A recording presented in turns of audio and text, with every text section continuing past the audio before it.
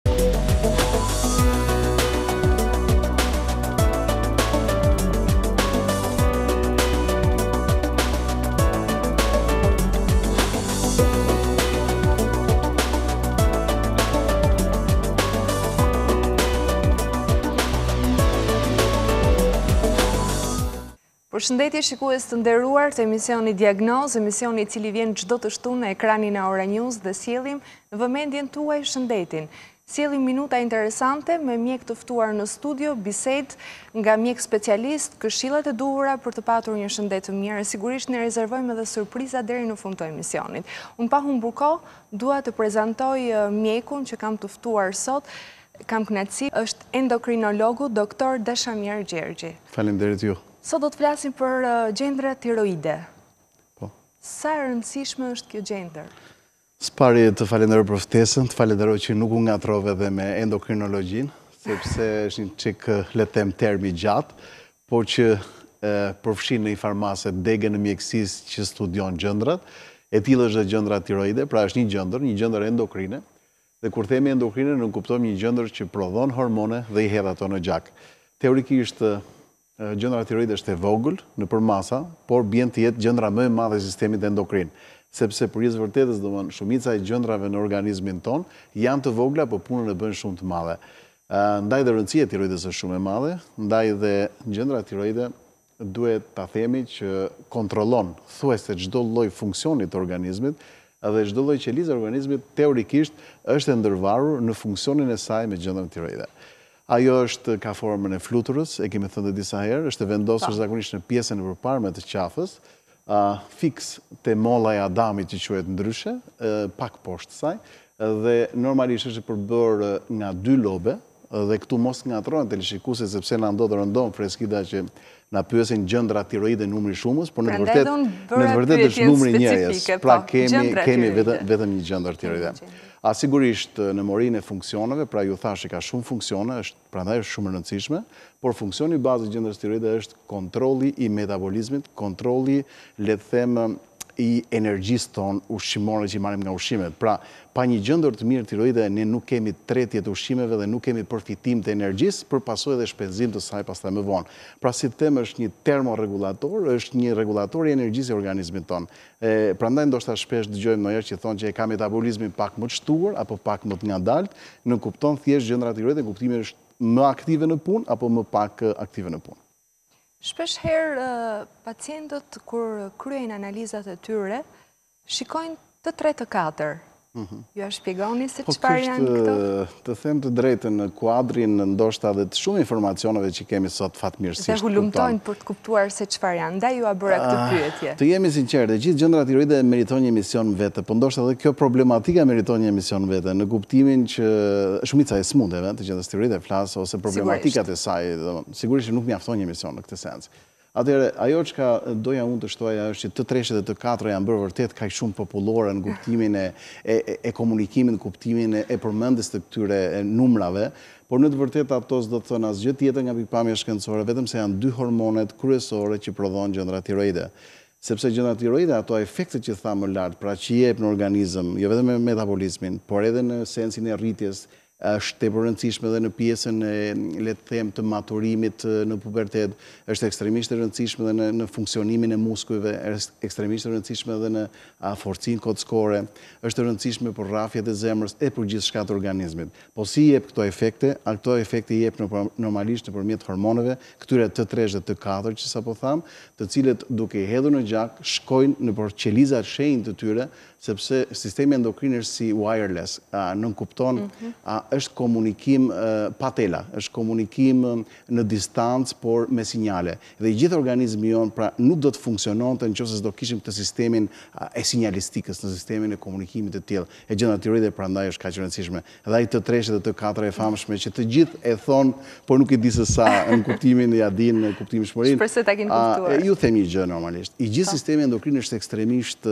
i vështirë për të kuptuar. Duket i thjeshtë në pamje të parë, po është tmerrësisht i vështirë për të kuptuar. Ndoshta edhe për këtë pjesë dua të bëj një parantezë, njerëzit mos të ngatrohen, sepse po na ndodh rëndomtë në praktikën e përditshme, që shumica e njerëzve shkojnë vetë bëjnë disa hormone, të tilla T tresh T katër, apo tentojnë të komentojnë vetë gjëra të tilla, ok, është i lirë secili të marrë një informacion një gjë, po ju garantoj që nuk është kaq e thjeshtë për t'i interpretuar ato apo për t'u marrë me të.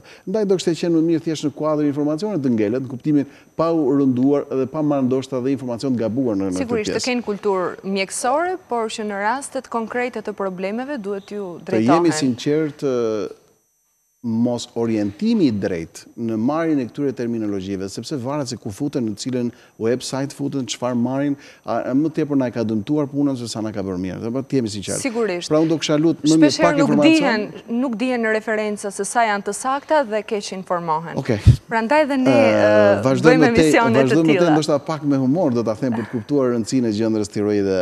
Nga pikëpamja le të them, ekonomike, Shtetet e Bashkuara të Amerikës, kuptohet që është motorri i botës, apo jo. Po vetë Shtetet e Bashkuara të Amerikës ka New Yorkun si gjeneros, si, si, si ai motori që, që përshpejton apo që stimulon rritjen ekonomike të Amerikës. Dinamika është shumë e madhe. E jo më kot tiroidën, New Yorkun e kanë konsideruar tiroidja e Amerikës. Pra, për të kuptuar se sa i rëndësishëm është. Pra, në sensin, është ajo çka kontrollon gjithçka në organizmin tonë, në kuptimin e energjisë.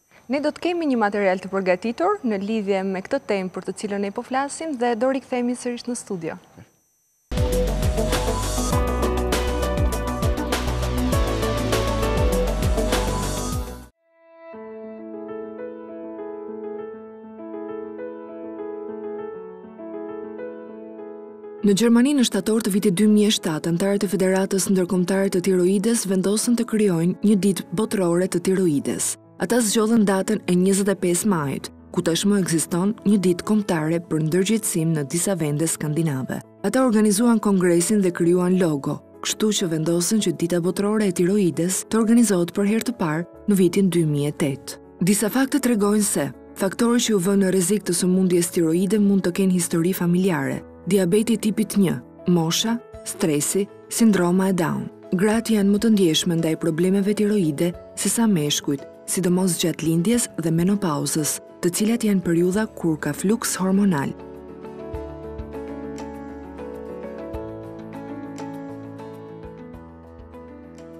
Pas moshës 35 vjeç, ju duhet që në mënyrë ideale të merrni kontrollin për mosfunksionim të tiroides një herë në 5 vjet. Nëse nuk trajtohet, problemet tiroide mund të çojnë në goditje, sëmundje zemre, infertilitet, Alzheimer e të tjerë.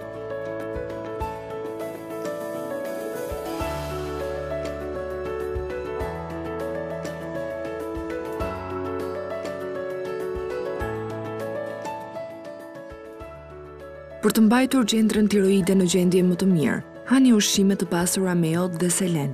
Ju mund ta bëni këtë duke ngrënë kripë të jodizuar dhe prodhime deti.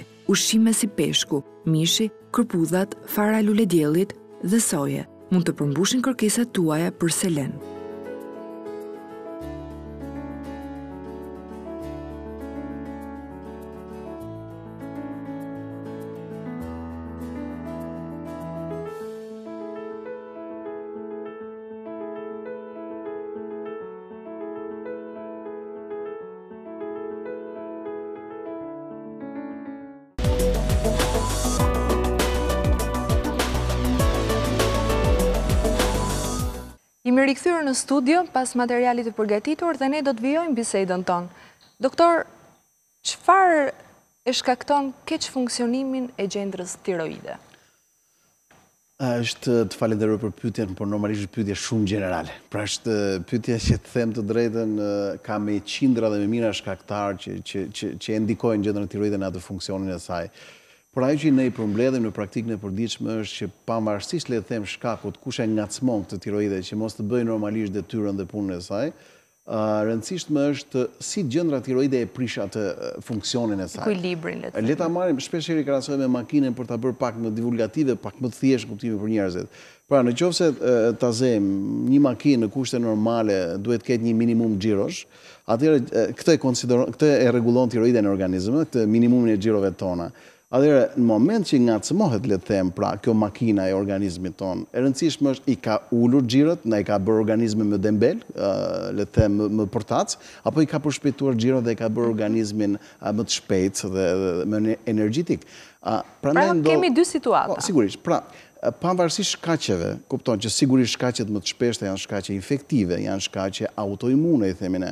Shpeshherë gjëndra tiroide, sidomos meqenëse jemi në sezonin e dimrit tani, preket shumë nga viruset, pra kur kalojmë një situatë të caktuar gripale, pra epidemitë gripale. Pra është më e ekspozuar në këtë stinë. Lenë shpesh pasoja në gjëndrën tiroide. Por gjëndra tiroide është tepër e ekspozuar dhe ndaj sëmundjeve autoimune. Unë e di që do më pyesësh ndoshta dhe për pjesën përse është më e shprehur ndoshta te gratë. Po, kjo është shumë e rëndësishme. E këtu pak a shumë e ka lidhjen dhe kjo gjë në sensin që Gratë kalojnë shpesh problematika të caktuara që u modifikohet imuniteti i tyre dhe duke u modifikuar mbrojtja e tyre imunitare, do të thotë që nuk e kanë më memoristikën, atë memorien imunitare të saktë edhe shpesh herë ekspozohen organe të caktuara të organizmit apo pjesë të caktuara ndaj këtij imuniteti që nuk funksionon mirë.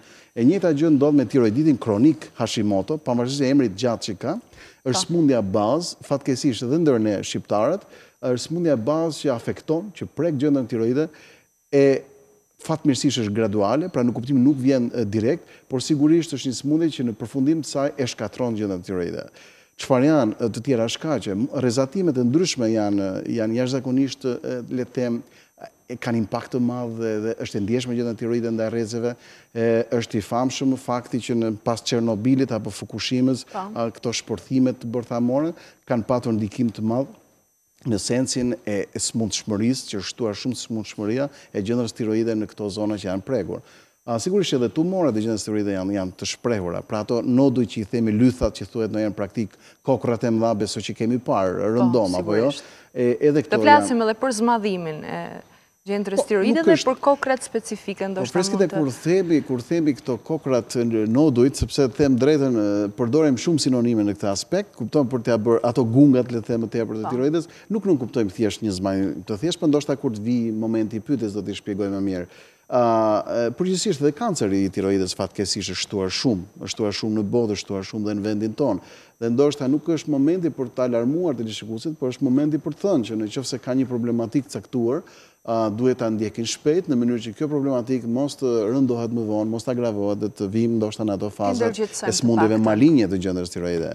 Trauma të ndryshme mund ta prekin gjëndrën tiroide, siç mund të jenë traumat në pjesën e fytit, pra anomali të lindura mund të ketë gjëndra tiroide, pra kur lind pa tiroide fare, kur lind një tiroide ektopike që i themi ne, që nuk është në vendin e duhur, kur pjesë të ndryshme të tiroides nuk funksionojnë, pra ose mungojnë, Tjetër sëmundshmëri mund të përfshijmë ndoshta dhe sëmundje të tjera gjenerale të organizmit, sëmundjet kronike, të cilat e afektojnë gjëndrën tiroide në kuptimin që nuk ia bëjnë të mundur komunikimin e saj me periferinë, etj, etj, se janë pafund. Pra, e rëndësishme është, pavarësisht. Ndoshta ato më të shpeshtat, cilat janë këto sëmundje, që të paktën njerëzit t'i dinë dhe që mund të preken. Më të shpeshtat janë sëmundjet autoimune, të cilat fatkeqësisht nuk arrijmë dot që t'i parandalojmë. në kuptimin janë sëmundje të brendshme të organizmit tonë, ku trupi gabimisht e lufton gjëndrën tiroide, janë infeksionet e tiroides dhe këto nodujt, këto lythat e masa tumorale të gjëndrës tiroide. Por çfarë e shkakton zmadhimin e gjëndrës tiroide? Po, nëse flasim për një zmadhim të thjeshtë, është ajo që quhet gushë në praktikën e përditshme, domthonë. Që është e dukshme. Ose strumë i themi ne, në pjesën po. profesionale, mjekësore. E, zmadhimi i gjëndrës tiroide kalon disa shkallë, pra nuk është, mund të fillojë si zmadhim i thjeshtë dhe mund të përfundojë në zmadhim, domthonë, gradë 2 të 3 që i themi ne, dhe pastaj krijon ato nodujt, lythat që thamë pak më sipër. Ajo që e shkakton këtë situatë, këtë gjendje, është deficienca jodike. Jodi është elementi bazë që e thith vetëm gjëndra tiroide dhe atë e ka le të themi brumin bazë për të gatuar hormonet e saj. Dhe në mungesë të jodit, organizmi ia kërkon funksionin që ta mbajë, detyrohet që të zmadhojë përmasat në mënyrë që të kompensojë atë çka mungon. Kjo është sigurisht pjesa kryesore, le të themi që është faktori kryesor. Ka dhe shumë gjëra të tjera, por pa i lodhur teleshikuesit, edhe seleniumi është një element shumë i rëndësishëm në në mbarëvajtjen e punëve të tiroides dhe për pasojë edhe në sëmundjet e saj. Si paraqitet kjo sëmundje, pra cilat janë simptomat? Si vijnë pacientët tuaj? Si ankohen ato? Besoj që që nga pyetja e dytë po mundohem që t'i ndajmë në mënyrë që të bëhem pak më të kuptueshëm për njerëzit. Kur flasim për simptomatikën, pyetja është krejt në vend.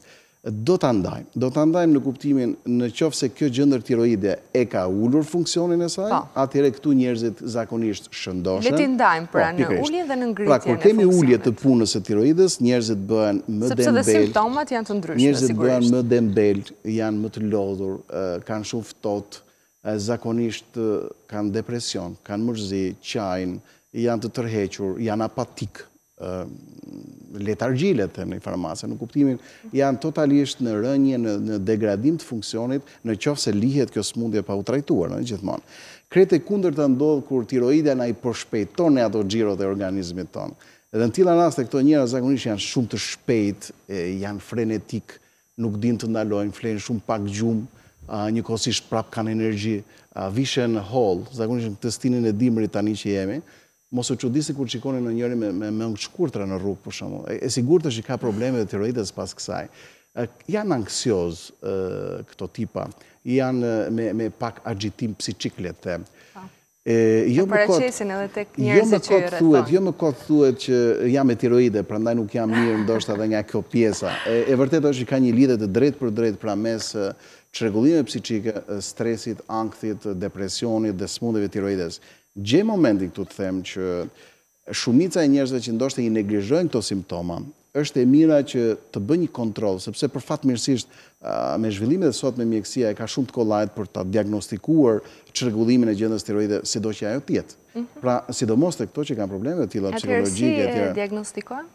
E, diagnostika përgjithësisht është ajo që thamë në fillim, pra ato T-treshit, T-katra dhe TSH-it që s'e kemi thënë atë kryesorin. Është një tjetër TSH, që do të thotë hormoni stimulues i gjëndrës tiroide, që ndodhet në kokë, në hipofizë, dhe ai mban balancat, ai kontrollon punën e kësaj gjëndre, për të thënë që është në rregull apo s'është në rregull dhe ai ose stimulohet ose frenohet në varësi të problematikave që ka. Dhe gjëja më e thjeshtë është ta masim këtë TSH-në. Ky është orientuesi i parë. Pastaj në qoftë se dyshojmë, mund të bëjmë dhe ndoshta këto T-treshin, T-katrën edhe hormone të tjera, pa u futur shumë në teknalitete. Pjesa tjetër është një eko e thjeshtë. E tiroidja duke qenë një gjëndër, le të them, shumë sipërfaqësore, është shumë e kollajt edhe me sy të lirë, një profesionist, po ndoshta edhe mjekët e familjes, mund ta diagnostikojnë. Por me ekografi është akoma më e thjeshtë, në kuptimin nëse di ta përdorësh ekografin, po, është shumë shpejt diagnostikon një problematikë tjetër. Në raste pak, më falni, që ta, po, mbyll pjesën diagnostike, kuptohet ta mbyll në fjalë shumë të thjeshta, kupton? Në raste më të agravuara, më të rënduara, kur kërkohet një diagnozë diferenciale e mirë, ne zakonisht bëjmë ekzaminime më të thelluara, siç mund të jetë shintigrafia e gjëndrës tiroide, skaner, ndoshta apo rezonancë janë më pak të përdorura te kjo gjë, Bëjmë dhe disa prova funksionale që i themi ne te gjëndra tiroide apo teste stimulimi dhe frenimi e tjera e tjera. Por në vija të përgjithshme janë hormonet, analizat biologjike dhe ekografia. Për të kaluar tek pyetja e fundit, do doja të ndaleshim tek trajtimi i këtij problemi shëndetësor. Idealet do kishte qenë që ne të kishim mundësi dhe ta parandalonim. Ajo çka sot vlerëson mjekësia botërore është fakti që është më mirë të parandalosh se sa të trajtosh. Sigurisht. Parandalimi jua thashë në fillim te këto sëmundje që ndoshta janë sëmundje autoimune është tentuar në botë duke trajtuar me selenium dhe me gjëra të tjera, gjoja për të parandaluar, po të jemi të sinqertë janë akoma kontradiktore dhe studimet e fundit që po flasim të fundit fare akoma nuk e kanë le të them të përcaktuar saktë nëse a vlen që të jepet një element apo një element tjetër për të parandaluar këtë sëmundshmërinë autoimune. Ajo që mund të parandalohet te gjëndra tiroide është gusha e thjeshtë që thamë, ajo ë zmadhimi i gjëndrës tiroide, sepse duke i dhënë jod nëpërmjet kemi dëgjuar gjithë apo jo, kripa e jodizuar, dikur jepeshin dhe ushqime të tjera nëpërmjet bukës, nëpërmjet vajit, pra sa më shumë jod. Në format më praktike që kanë mundësi njerëzit. Sigurisht, jo në po. kuptimin që duhet në një formë konsumi. Pra, po. siç është kripa që çdo njeri ka të nevojshme, duke e marrë të jodizuar, do të thotë që ti ke luftuar deficiencën jodike. Me luft, sepse fatkeqësisht Freskida ne jemi vend me realisht me probleme të deficiencës jodike. Nuk mund të themi që jemi në, në, në, në shkallën më të rëndë të mundshme, por nuk duhet ta pranojmë që kemi akoma problematika të caktuara, sidomos në vendet malore, kodrinore malore, aty ku jodi gjendet më pak dhe në natyrë. Prandaj trajtimi i këtyre zakonisht i fëmijëve, se e mira është të fillojë që në moshën fëmijënore, që mos të ketë dhënë pasoja në gjëndrën tiroide. Për të ardhur pastaj te trajtimi i sëmundjeve. Trajtimi i sëmundjeve për hir të së vërtetës është rebus më vete, është konglomerat në kuptimin dhe është një vlerësim integral trajtues i gjëndrës tiroide. Nuk është e thjeshtë mjekimi i gjëndrës tiroide. Këtë do më duhet që ta përsëris disa herë, sepse rëndom shpeshherë interferojnë ndoshta elementë, unë nuk dua të paragjykoj këtu asnjë njeri, po unë jam te pjesa e le të them e vlerësimit profesional të gjësë. Pra kush është i aftë në kuptimin le ta trajtojë, është më e mira të ndërhyjë. Por nëse kompetencat tona nuk janë të tilla, në kuptimin qoftë dhe ky dhe mjek, ë, pa e diskutuar në kushte të tjera, se edhe vetë mjek ka ndonjëherë, ë, pse e them, sepse te hormonët e tiroides lëvizet me milimol, me nanogram dhe janë gjëra shumë mikroskopike, shumë të të të vogla le të them, të imta dhe ndërhyrjet aty mund të kalojnë shpesh në nga në tepricë, në pakicë dhe e kundërta apo probleme të tjera. Por trajtimi në vija të përgjithshme do të thotë fatmirësisht, te sëmundjet që janë më të shpeshta dhe te gratë është kjo hipotiroza apo ulja e funksionit. Kjo zakonisht mjekohet në fazat e para, teorikisht kur s'është e gjitha me pak jod dhe me hormon, por kur është e shkatërruar le të them e gjithë tiroidja duhet vetëm hormoni mëngjes. Krejt e kundërta ndodh kur kemi tepric, zakonisht japim disa ilaçe që frenojnë prodhimin apo hedhjen e apo veprimin e hormoneve në organizëm. Kjo është e thënë ABC-ja e kësaj gjëje. Doktor ju falenderoj shumë për bisedën me vlerë që transmetuat në ekranin e Ora News. Ishte kënaqësi që ju kisha sot në diagnozë. Kënaqësia është e imja, shpresojmë që momente të tjera të jemi ndoshta pak më specifik në kuptimin me sëmundje të caktuara. Sigurisht do kemi dhe raste të tjera. Por ju falenderoj, ju falenderoj sepse janë tema që realisht janë interesante. Kërkojnë vëmendje. Mendoj. Faleminderit. Faleminderit ju.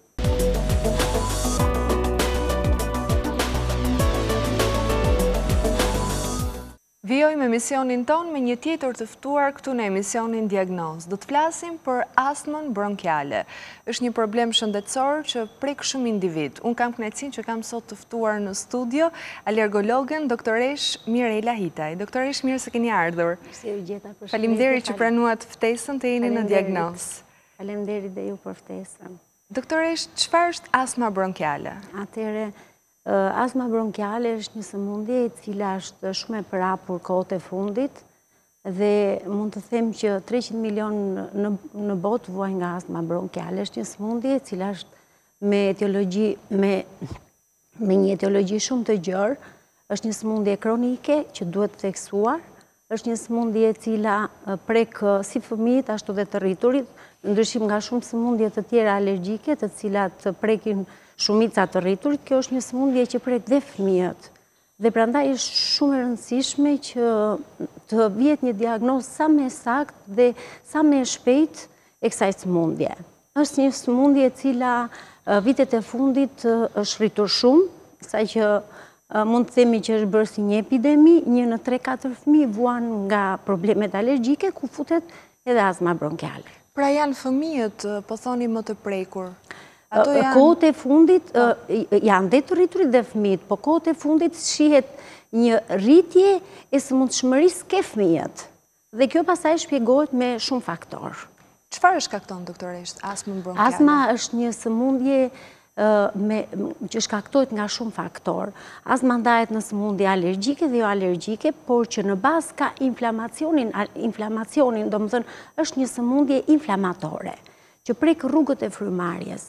dhe që shkaktarët janë të shumtë duke filluar që nga shkaktarët alergjikë, ku futen këto alergenët e ndryshëm, ku pjesën më të madhe e zënë pluhurat e shpisë ose akarienët që i themin e dermatofagoidet, e zënë polenet që janë në periudha të ndryshme, në pranverë, në vjeshtë, E zënë kafshët shtëpiake, e zënë mykërat të cilat kohët e fundit janë shtuar shumë azmat nga sporet e mykut, janë shtuar shumë kohët e fundit dhe kjo ka të bëjë më shumë dhe me mënyrën e jetesës, me mënyrën e të ushqyerit, sepse azma është një sëmundje e kohëve moderne sa më shumë civilizohet jeta, sa më shumë modernizohet jeta, aq më shumë shfaqet azma.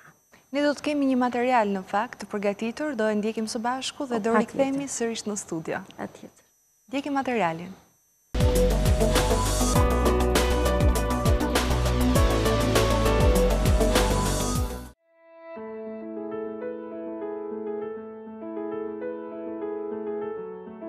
Iniciativa globale për astmën dhe OBSH për herë të parë kanë kremtuar eventin botëror kundër astmës në vitin 1989 për të rritur ndërgjegjësimin dhe kujdesin ndaj astmës kudo në botë. Takimi i parë botëror u organizua në Barcelonë dhe në mbi 35 vende të botës u kryen aktivitete ndërgjegjësuese. Sipas OBSH-së, Astma është sëmundje kronike më e shpeshtë e moshës fëmijënore.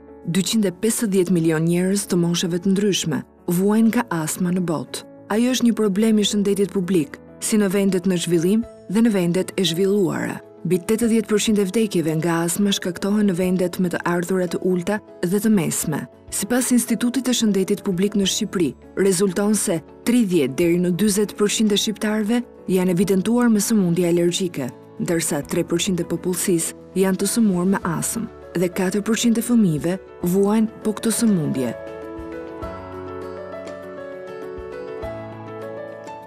Prevalenca e astmës në vendin tonë po rritet me 5% në vit. Kryhen çdo vit aktivitete gjatë muajit maj, të cilat udhëhiqen Nga Shoqata Shqiptare e Alergologjisë dhe Imunologjisë Klinike, me mbështetjen e Ministrisë së Shëndetësisë dhe Institutit të Shëndetit Publik.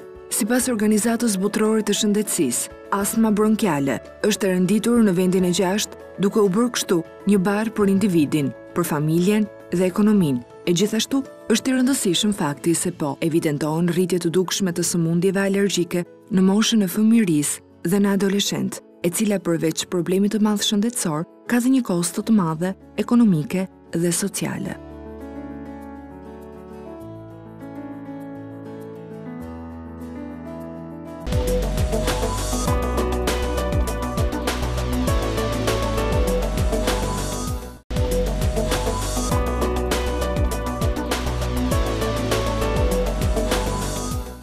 Ne do të vijojmë bisedën tonë me mjeken e ftuar në studio, alergologen dhe do të flasim në fakt doktoreshë për shenjat klinike të kësaj sëmundje. Po, azma është një sëmundje e cila shfaqet me një sërë shenjash klinike, po tipike dhe kryesore është kolla, e cila është një kollë e vazhdueshme, që është si ditën dhe natën, po karakteristike mund të jetë natën dhe herët në mëngjes, por nuk përjashtohet dhe kolla gjatë ditës.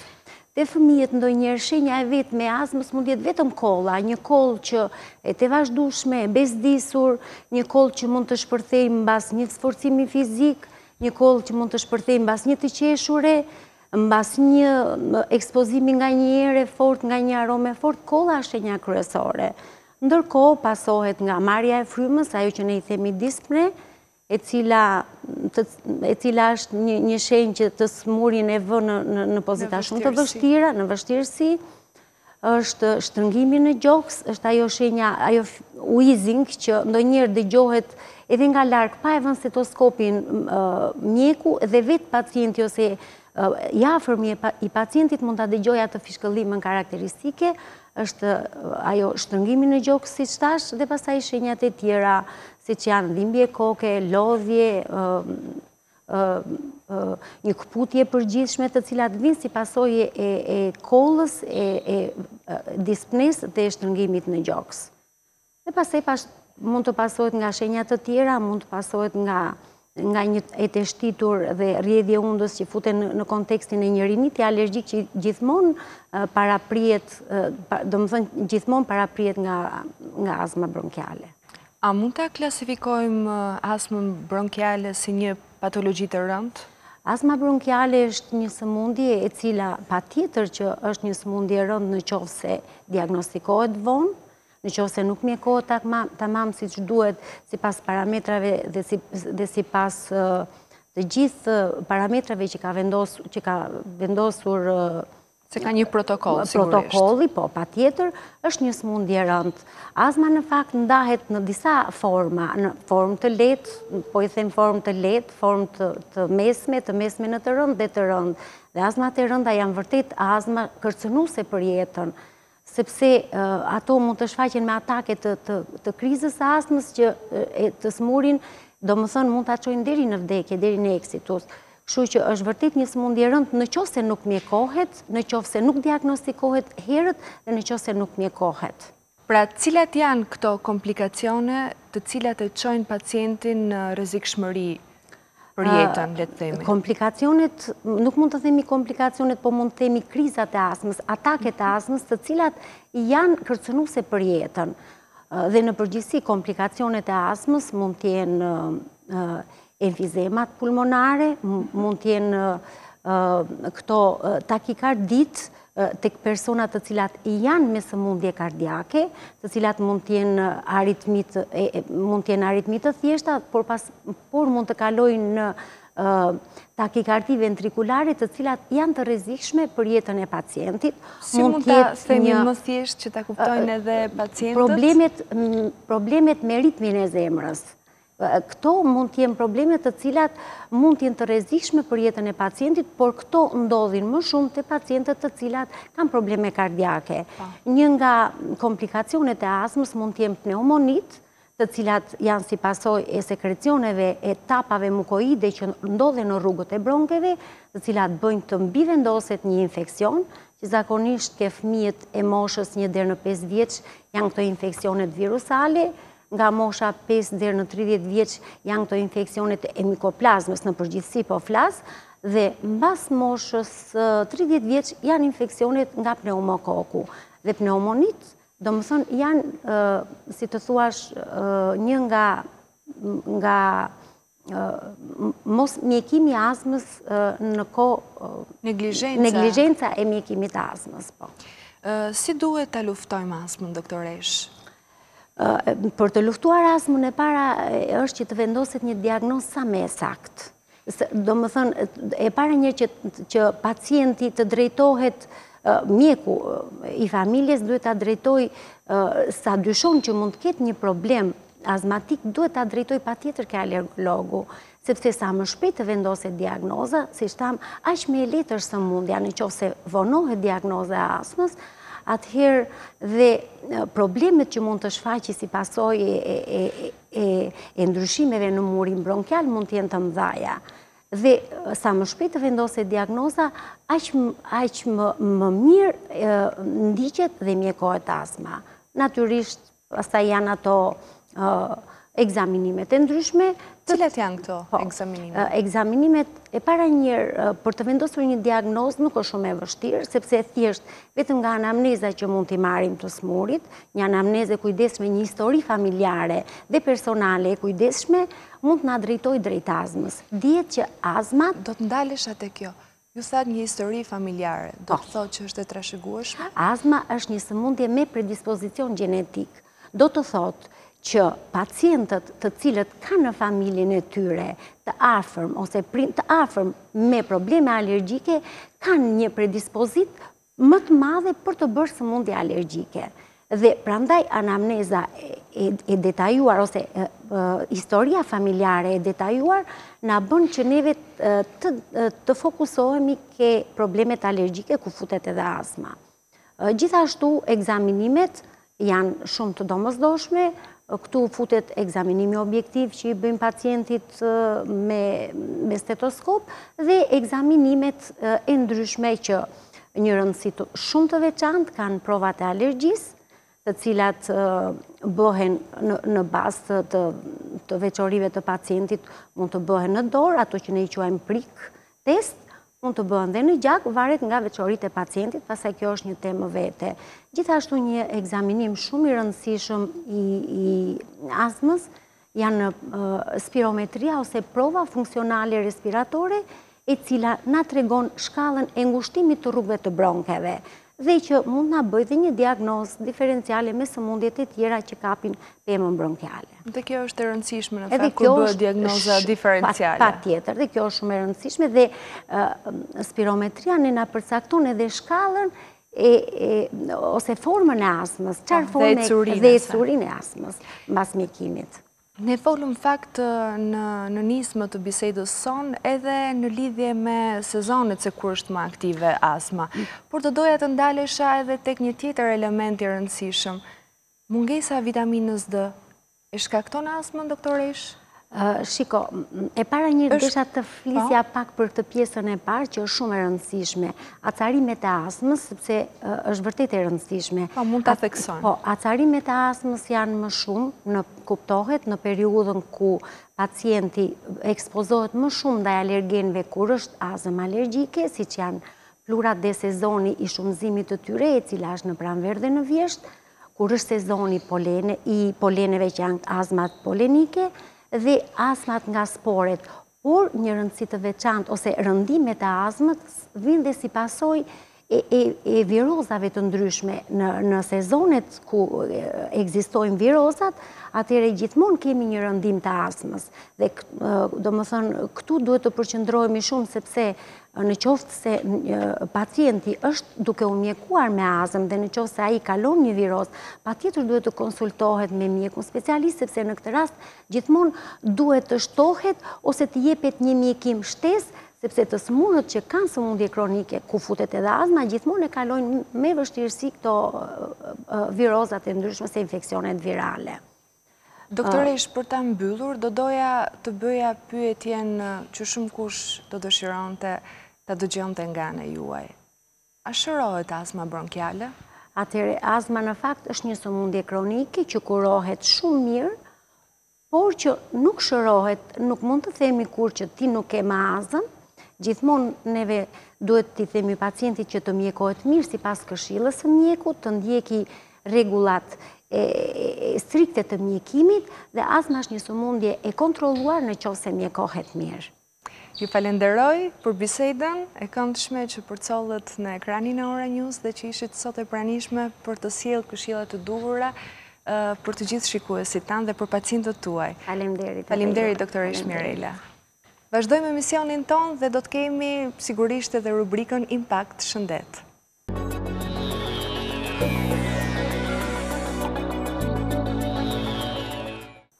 Jemi në rubrikën Impakt Shëndet dhe në çdo cikël emisioni ne zgjedhim një personazh publik për të biseduar sigurisht gjatë këtij minutazhi rreth shëndetit, por jo vetëm. Sigurisht do të cekim edhe disa gjëra interesante rreth profesionit të tyre. Unë sot kam të ftuar Luiz Ejllin, këngëtarin e njohur. Mirë se keni ardhur në studio në Impakt Shëndet në Diagnozë. Mirë se ju gjej, faleminderit për ftesën.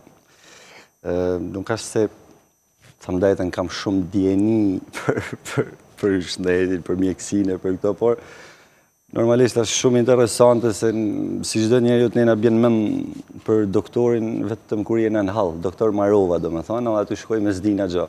Kështu që jam pak me atë parimin që jena pak injorant, me thonë, nga ana e informimit ose edukimit nga ana e shnetësisë. Gja që duhet, duhet me kenë ma, ma e përhapun n'njerëz. Prandaj jemi në Diagnozë, për të sjellë profesionalizmin e mjekëve tanë dhe le t'i informojmë shikuesit, t'i sensibilizojmë, por sjellim edhe eksperiencat e personazheve publike, sepse janë interesante, janë intervista ndryshe, apo jo? Nuk besoj se keni folur ndonjëherë për shëndetin. Jo. Jo. Prandaj ju zgjodha. Luiz, më thuaj ndonjë eksperiencë tënde në lidhje me shëndetin. Nuk përjashtohemi asnjë, sepse më janë bërë pyetje në fakt, jo, pse keni zgjedhur edhe personazhe publike për të qenë në një emision mjekësor. Por asnjë nuk përjashtohemi, të gjithëve na përket shëndeti. Asht mëse normale. Unë biles e kam shumë të freskët, po të themi, Unë shkova rastisht në korrik të këtij viti, këtë verë. Pra, jeni edhe ju te rastësia? Unë jam te rastësia. Shkova rastisht me ba një kontroll, domethanë, ku s'po ju them ça doli, as si doli, as tek doli, dhe u dote me ba një ndërhymje. Gja e vogël, por u dote me u ba.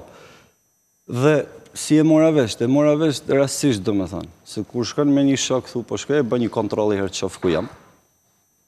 Shkuam me e ba, dhe shkum krejt tu qesh, sepse po thoshim, ore, ne çojmë makinat në servis, ni herë në tre muj, e vedin s'e çojmë ni herë në dhetë vjet. A kupton, është pak, pak ignorancë, dhe është, është goxha gabim për shumë njerëz që e bëjnë.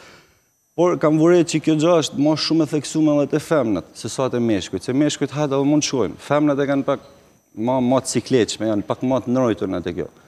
Kështu që unë ia këshilloj shumë më shumë, domethënë, të gjitha meshkujt e femrat që të shkojnë sa më shpesh, sa më shumë që të kontrollohen. Njatëherë kur je shnosh duhet me shku, si, se kur të jesh kur të jesh në fund mos e ndaj. So, ti mendon se kjo është në përgjithësi në Shqipëri? Kjo kulturë? Është, të shi, është se është... keni jetuar dhe jashtë, po, Shqipërie, sigurisht keni miqtë tuaj, ka që një kohë e konsiderueshme, kur një keni... Ideja është kjo, njerëzit duhet me ngulit n'men diçka që doktori nuk ashtë Nuk asht me pshtu jetën, asht me e parandalu rrezikun, jo me të pshtu, ti nëse i shkon në grad. Edhe shpëton, ë? Po mirë, por marrim rastin e kirurgjisë së fundit, por ti nëse i shkon në grad të fundit dhe i thu më pshto. Edhe nuk mundet, nuk është as faji i tij, s'mund t'ia lësh fajin atij. Ti duhet me shku shumë më përpara, që ta kurosh, që ta mjekosh, që ta njekësh hap pas hapit, që ti të evitosh. Ti nëse i shkon në grad të fundit, marove, çka do të bëni? Kështu duhet sa më shumë domethanë, duhet të përhapet n'shkolla, në administratë, gjithkund. Në kurrikulat shkollore. Gjithkund që, domethanë, si edukim që duhet të shkosh, të kontrollohesh, thjesht të kontrollohesh, jo pa po jam shnosh, okej, po shko, gjithsesi shko, ta dish. Edhe garantoj që e ban gjumin ma të qetë. E ke përjetuar atë moment delikat të shëndetit tënd? Je friksuar? Thuaj të drejtën. Kam ra tetë kile për pesë ditë. Prej stresit. Se, kur e menon domethanë... Po, po qeshim, po, sepse fatmirësisht je mirë, po, po në momentin që thua, kaq shumë kilogram për pesë ditë, është shumë në fakt. E stresi, domethanë, sepse kthehet në psikologjike, ajo se të kap angthi, si po ndodh, ça po, po ndodh, si po shkon në një tjetër. Ashtë, kur është puna për shnetin, domethanë, të gjithë friksohen. Nuk ka aty që i thu, po shkoj edhe po e bëj. Pas këtij momenti, tani ti bën vizita periodike? Le të themi. Domethënë, sa marova këtë, kam shku jam kontrollu prap, mas tre mujve, herën e fundit që kam kenë, mund të ketë dy muj, diçka e tillë, një kontroll të përgjithshëm. Pra tani je bërë i rregullt? Për shëndetin tënd. Po, se kur e pësova i herë, unë e pësova për fajin tem, për fajin e kërkuj tjetër, po për fajin tem. Për diçka që mund të ishte eliminu, si me thanë, me një gotë uj, edhe me disa ilaçe, edhe mund t'u myllte me aq. Në qoftë se elem... Po nga fëmjëria jote, mban mend diçka Ki patur probleme, apo ki qenë fëmi i shëndetshëm edhe nëna juaj, si ka qenë në raport me këtë pjesë? Nana, unë deri 4 vjeç, unë s'kam folë. Po fare, as tingull nuk kam nxjerrë nga goja, dhe ato 4 vjet kanë kenë vite torture për prindët e mi, sepse thonte nana, në moment që ti ishe fjetë, ne nuk e dishim, a je tu kja, a je tu bërtit, a je tu sepse nuk lëshoshe tingull. Edhe kur kjashe. Katër vjet kështu. Mas katër vjetëve dhe nuk bate derman kërkush. Ça ka asht, mosh, po s'e dina pse s'flet. Më kupton, asi lloj tingullit për katër vjetë. Dhe kena kan një darkë dikum, që ma ka tregu nana, aty kam thanë për herë të parë mama, baba, dada, për motrën. Edhe qysh atë natë tha nana s't'u myll ma goja, s'rreshte, s'je ndal ma. Pra ke akumuluar gjithçka dhe... Unë nuk është se maj men, por që ma kanë thonë prindët, domethënë kjo ka kenë. E vogël. Po. Edhe mrapa kam lexu domethënë n'internet që janë raste që nodhin, ishte tip vonese në në jo, janë, njihen këto raste po. në mjekësi, sigurisht. Jo të shpeshta, por njihen. Pasaj do vinte ai momenti që do shpërthenit Edhe do këndonit të gjitha me radhë. Po, ku i kam, domethënë akumulu ato katër vitet. Luis, ju keni një dalje të shpejtë tani në skenë, keni një pjesëmarrje në festivalin e fundvitit, në Radio Televizionin Publik Shqiptar, është një bashkëpunim i juaji me këngëtaren Rezarta Smaja. Po. Si u mendua ky bashkëpunim i juaji? Faktikisht, ka kenë nata finale e festivalit vitit kalum, Kur unë isha në sallë, e pashë, maroi festivali. Me që maroi festivali, unë kam marrë direkt Edmond Zhulalin n'telefon, e kam uru, ai nuk fitoi, por e urova për kangën, për gjitha, dhe i thash, kisha pas shumë qejf si vitin tjetër me e ba kangën bashkë. Edhe ai qeshi dhe më tha, po qysh tesh më tha mu, jo tash sa maroi finalja, kësaj, ka edhe i vit kohë, dhe më tha, edhe qesh me kaq e lamë. Mas të dhe mas 4-5 mujve, më mori Zhulali n'telefon, më tha, do e bajmë, tha mu, po unë kam tha një ide për duet, Shumë mirë i thash, nuk ka problem, thjesht ta gjajmë vajzën me, me cilë vajzë do e bëjmë. Edhe menova, na shkoi menja te Rezarta. Rezartën e kam pasë në klasë, 8 vjet, në shkollë të muzikës, kena kanë edhe në klasë bashkë, edhe në bankë, edhe të tana, edhe e morëm Rezartën. Një vajzë e shkëlqyer dhe një këngëtarë shumë e mirë, njëkohësisht. Shumë vajzë e mirë, dhe në këto raste se ti mund të thush, Gjithçka por se ne tre minuta do jena bashkë, katër minuta do kënojmë. Por ajo është vërtet është një njeri shumë i mirë, i kuptueshëm, i qeshun, plus që s'mund të them jena rrit bashkë, po tetë vjet në klasë nuk janë pak. Sigurisht. Edhe kena domethanë dhe e mori edhe ajo me shumë qejf. Janë shumë vite kur ju rriteni dhe zhvilloheni bashkë dhe njihni shumë mirë njëri-tjetrin, por Në nume që kena bërë diçka të bukur. Kjo është akoma më bukur, domethënë që ju po, po realizoni një bashkëpunim. Po, ale, bile se dhe shoqëria e shkollës... Shpresojmë që ta finalizoni me çmim, pse jo. Po, tashi, ideja një është, se gjithë thojnë, ja, randësi ka pjesëmarrja, e kështu tanë dojnë me fitu. E festival lagjet me kenë, me marrë pjesë dhe prapë ke qejf me fitu. Jo ma në festival që ose të tanë thojnë, ja, mu s'më intereson çmimi, unë kam qejf me marrë pra, pjesë. Pra, dëshiron të prekësh skenën e Eurovisionit edhe njëherë? Po, na për Rezartën një në të e ba, se ju zhulali ka kenë, e lënë ka kenë, pa po, jetë të mëndu, dojsha me ia ba dhuratë asaj. Oke, ishte një bisedë shumë e këndshme, si në çdo cikël të këtij emisioni dhe në Impakt Shëndet, ju keni dikë për të falënderuar, apo jo, për të shprehur mirënjohjen.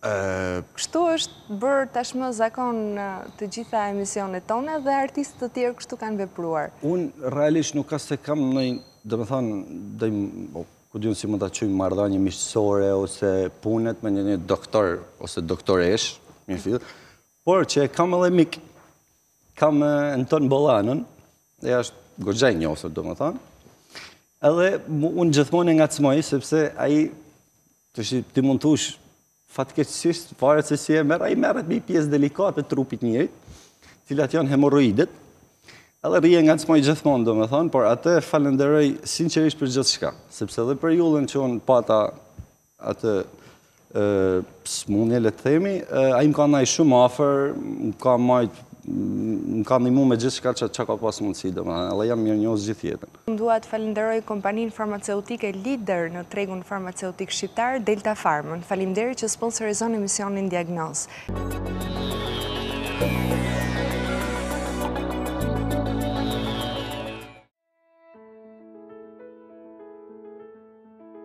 Hormonet janë substanca kimike të cilat i sekretojnë gjëndrat me sekretim të brendshëm dhe inde endokrine. Hormon quhet një substancë specifike e sekretuar nga një qelizë e specializuar e cila vepron mbi receptorë po ashtu të specializuar.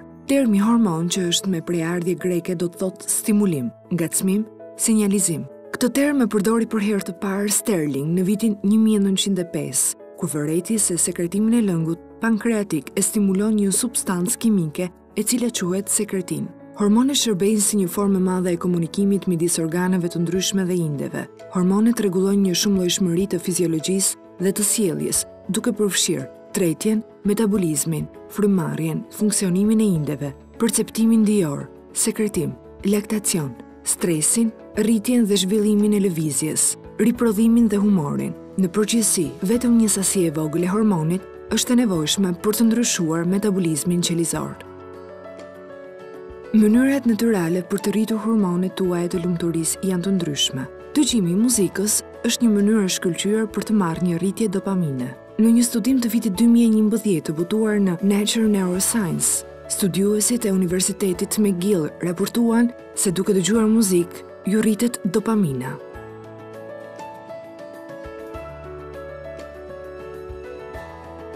Për t'i mbajtur hormonet në gjendje optimale për një kohë të gjatë, Isaks këshillon një dietë të balancuar ushqimore, ushtrime të vazhdueshme fizike, si dhe një gjumë të qetë e cilësor. Sipas një studimi të kryer së fundmi, femrat të cilat mbartin shumë stres nga puna e tyre janë 38% më të predispozuara për t'u prekur nga sëmundjet e zemrës si pasojë e një niveli të lartë kronik të kortizolit.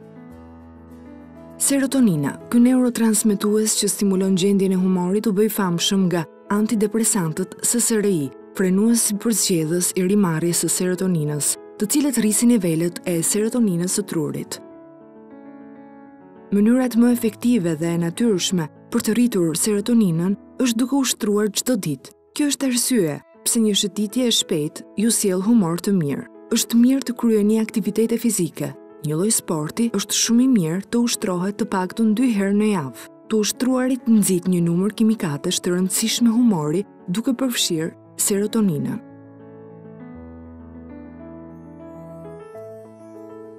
Oksitocina Studiuesit nga Claremont University në Kaliforni kanë bërë hulumtime të gjera mbi ndikimin e saj tek gratë duke lidhur lirimin e oksitocinës në nivelet e kënaqësisë së jetës.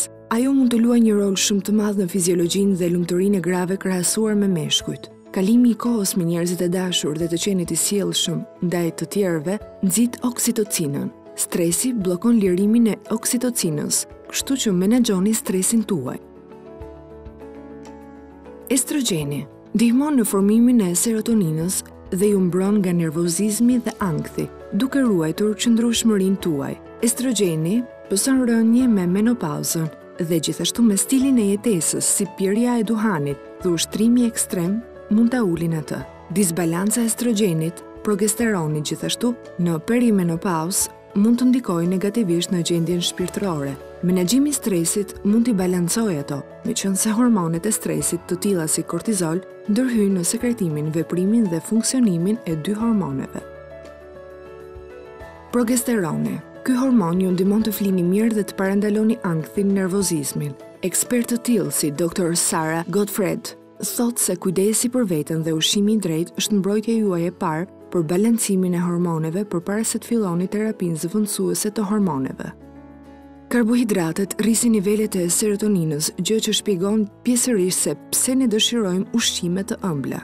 Merrni një nxitje të oksitocinës duke bërë gjëra të pëlqyeshme, si kalimi i kohës me njerëz pozitivë, me fëmijët tuaj ose kafshët e preferuara. Mbani progesteronin në nivele optimale duke ngrënë mirë dhe duke shmangur yndyra të ngopura dhe sheqerin, duke rregulluar aktivitetin fizik. Shmangni stresin.